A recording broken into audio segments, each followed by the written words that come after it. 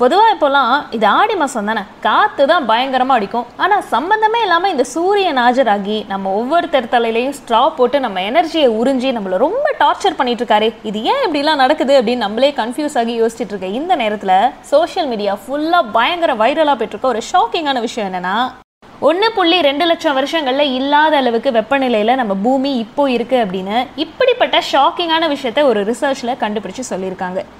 அதாவது மனிதர்களோட செயல்பாடு காரணமாக புவி வெப்பமயமாதல் அதிகரிக்கிறது வருஷா வருஷம் அதிகரிச்சிட்டு இருக்கு அப்படின்னு சயின்டிஸ்ட்லாம் தெரிவிச்சிருக்காங்க.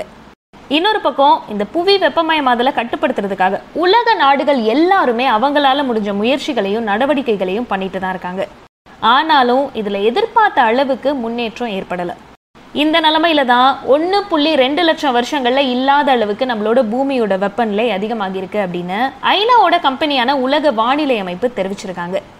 சரி ஓகே ஆனால் இப்படிப்பட்ட விஷயத்தை இவங்க எப்படி கண்டுபிடிச்சாங்க அப்படின்னு கேட்டிங்கன்னா இது தொடர்பாக பனிக்கட்டிகள் மரங்களோட வயசு பலாயிரம் வருஷங்களாக நம்ம பூமியோட வெப்பநிலைன்னு இப்படிப்பட்ட தகவல்கள் எல்லாம் எடுத்து இதெல்லாம் வச்சு ஒரு ரிசர்ச் பண்ணியிருக்காங்க. இதில் அதிகபட்சமாக சைனால ஒரு முறை 52.2 ரெண்டு புள்ளி ரெண்டு டிகிரி செல்சியஸ் அதாவது நூற்றி இருபத்தாறு ஃபாரன்ஹீட் அளவுக்கு வெப்பநிலை பதிவாகியிருக்கு. அடுத்ததா கனடாவில் காட்டுத்தீ.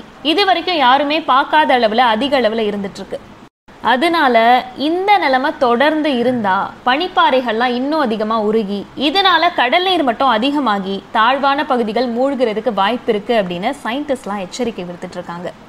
இதுல இன்னும் ஷாக்கிங்கான ஒரு விஷயம் என்னன்னா குறிப்பா சொல்ற அளவுல கடல் நீரோட வெப்பநிலையும் அதிகமாகியிருக்கு அப்படின்னு தகவல்கள்லாம் தெரிவிக்குது. அடுத்த அதிர்ச்சியான விஷயம் என்னன்னா உலகத்திலேயே அதிக அளவுல குளிர் பிரதேசமா இருக்கக்கூடிய அண்டார்டிகா பகுதியிலையும் வெப்ப காற்றை உணர முடியுது அப்படின்னு ஆய்வுல தெரிய வந்திருக்கு. இன்னொரு பக்கம் ஜெர்மனியோட லேசிக் யூனிவர்சிட்டி ஒரு ரிப்போர்ட் வெளியிட்டிருக்காங்க. இதில் இது வரைக்கும் உலகத்தில் பதிவான வெப்பநிலைகள்லையே ஜூலை ரெண்டாயிரத்தி இருபத்தி மூணு மாதத்தோட வெப்பம் தான் அதிகமானதாக இருக்கும் அப்படின்னு தெரிவிச்சிருக்காங்க.